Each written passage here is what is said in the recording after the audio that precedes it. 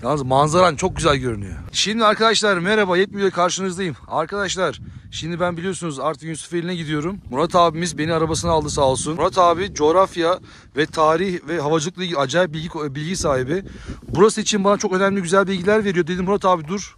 Bunu bize ka- kayıt altına anlat da herkes öğrensin. Şu an bulunduğumuz yer tam neresi abi öyle başlayalım. Merhaba arkadaşlar. Ee, ben Yusufeli'nden Erzurum'a geldim bugün. Bu arkadaşımızı burada buldum. Yine nasipse Yusufeli'ne geri dönüyoruz. Ee, bu arkadaşımız da bizden bölgeyle ilgili bilgi almak istedi. Biz de bildiğimiz kadarıyla anlatalım. Meraklı olduğumuz için bazı şeyleri araştırma fırsatımız oldu. Ee, bulunduğumuz yer e, 2090 rakımlı Erzurum Güzel Yalı geçidi. Şöyle çevirebilirsin. En üstteki dağ e, Radar Tepesi Erzurum'un.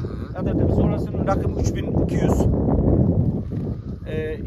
E, 2090 geçitli burası. Bu tarafa akan su. Burada enteresan bilgiler var.